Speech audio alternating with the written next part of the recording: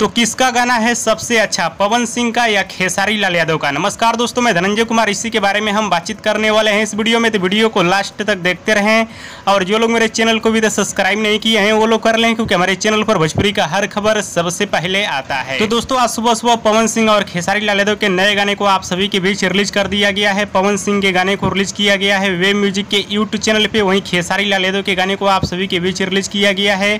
Annapurna film के YouTube channel पे।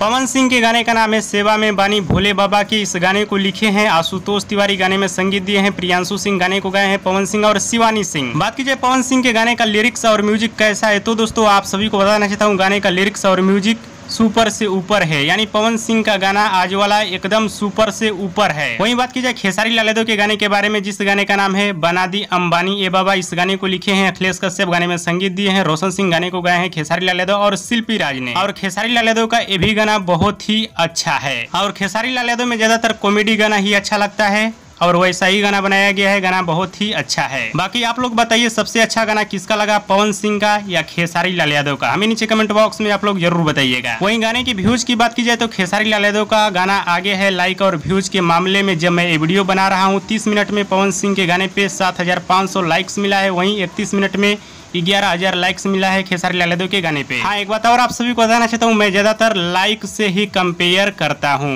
क्योंकि लाइक में धोखाधड़ी नहीं होता है, एक आदमी एक ही बार लाइक कर सकता है। बाकी तीस मिनट वाला रिपोर्ट में खेसारी लाल यादव आगे हैं। बाकी आगे भी कंपेयर किया जाएगा इन दोनों गाने का। और आज शाम तक पता चल जाएगा किसमें है कितना दम। हाँ एक बात और आप सभी को बताना चाहता हूँ, चैनल छोटा बड़ा से मतलब नहीं होता है, गाना अच्छा होना चाहिए। जैसे मैं सनी लियोनी के साथ पवन सिंह का गाना आया था बड़े चैनल से, गाना नहीं चल पाया, वही नींबू खरबूजा आया था, ज़ीरो वाला सब्सक्राइबर वाला चैनल से गाना अच्छा चला। बस आप लोग समझ सकते हैं, जो चला रहेगा वो समझ जाएगा। वीडियो पसंद आया तो ज़्यादा लाइक करें कमेंट करें शेयर करें सब्सक्राइब करें। धन्यवाद।